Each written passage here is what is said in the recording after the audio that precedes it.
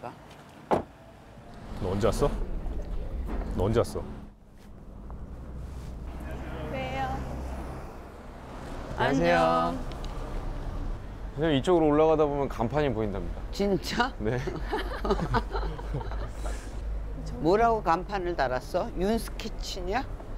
그거겠죠? 아니면 스페인어로 붙어 있어요. 아, 스페인어로 붙어 있나? 모르겠네. 관- 완전 관광지 같아 선생님.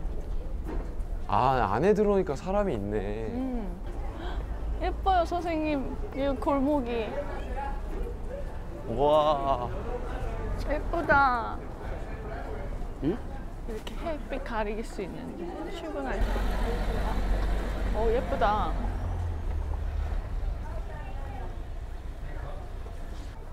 아 여기 있네요. 윤스키치. 오 대박. 어디 봐? 선생님 여기요. 예뻐요. 어, 어머 진짜. 윤스키치.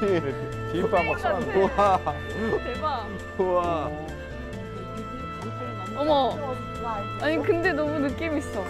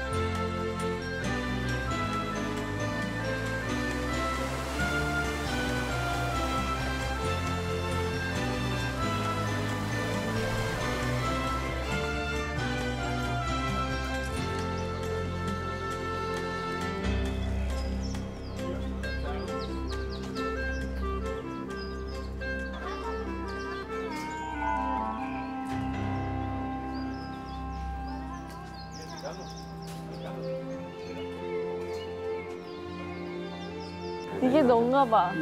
너, 나, 선생님.